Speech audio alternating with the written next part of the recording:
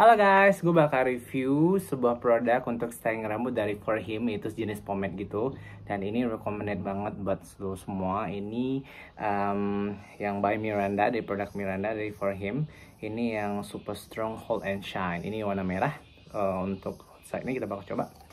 Buka, dalamnya biru. Oke, okay. basically gue suka banget pakai pomade Karena memang rambut gue itu kan tipis. Jadi memang uh, perlu di styling dengan yang simple. Kita coba let's try. Kasih. Ini gampang banget ditata lumayan cukup rapi. Dan ini wangi banget.